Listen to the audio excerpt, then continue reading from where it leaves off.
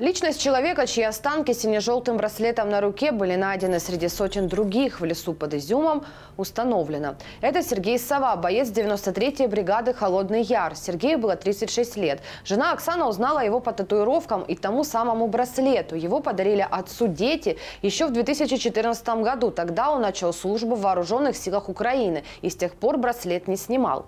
Последний раз Сергей Сова выходил на связь 19 апреля. Пять месяцев Оксана пыталась найти хоть какую-то информацию о своем супруге. Он считался пропавшим без вести. И только когда началась эксгумация в Изюме, она смогла опознать тело. У бойца осталось двое детей – Элина и Марат. Старший сын обратился к президенту Украины Владимиру Зеленскому с просьбой вернуть тело отца домой в Никополь как можно скорее. Семья хочет достойно похоронить военного. Соответствующее обращение Марат зарегистрировал на сайте Офиса президента.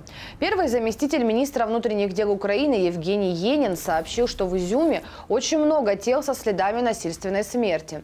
Это и сломанные ребра, и поломанные головы, мужчины со связанными руками, переломами челюстей с отрезанными гениталиями. С места захоронения в Изюме на данный момент эксгумировали 146 тел. Напомним, после того, как ВСУ практически полностью отбили Харьковскую область, в лесу под Изюмом было обнаружено массовое захоронение с 450 могилами.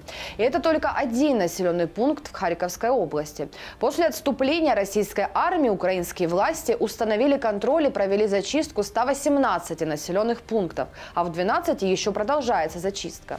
Есть ли там массовые захоронения и следы военных преступлений россиян, пока неизвестно. В Изюме же эксгумация продлится еще почти две недели. Службы имеют информацию о новых захоронениях. Их ищут, рассказал украинским СМИ мэр города Валерий Марченко. А что вы думаете об этом? Пишите в комментариях и подписывайтесь на наш YouTube-канал и телеграм телеграм-каналы, чтобы первыми узнавать правду.